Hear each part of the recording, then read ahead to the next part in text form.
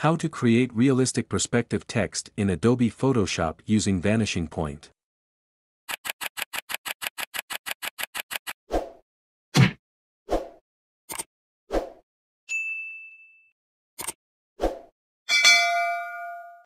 First open your text tool from the toolbar. Then click on your document and type out your text. Go to Layer. Rasterize. And type. Hold Ctrl key, and click on the thumbnail of the text layer, to make a selection around the text. Go to Edit. And choose Cut. Now go to Filter. And choose the vanishing point. Open your plane tool.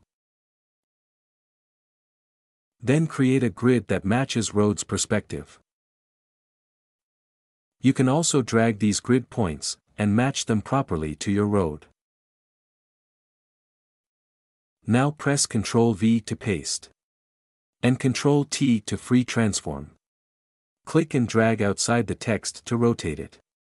Now you can scale and drag the text layer into position.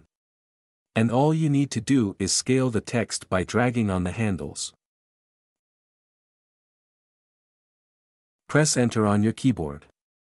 Click the FX icon, and choose the blending options. Hold the Alt key, to split the black slider, and drag it to the right. And that's it for today. Thanks for watching.